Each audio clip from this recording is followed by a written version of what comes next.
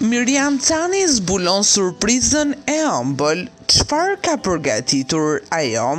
Këngëtarja e njohur Miriam Cani është një nga personazhet më të dashur të publikut shqiptar. Prej vitesh pjesë e tregut muzikor, artistja ka qenë gjithmonë një nga të preferuarat e publikut shqiptar për zërin dhe ëmbëlsinë e saj. Së fundmi ajo ka zbuluar lajme mjaft të mira për të gjithë.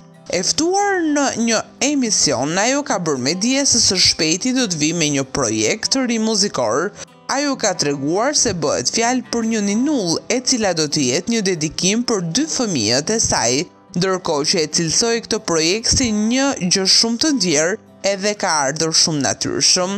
Lidhet me gjithçka, sa me biznesin, aq edhe me jetën familjare, kam bërë një ninullë. Është një projekt shumë i ndjerë dhe i bukur.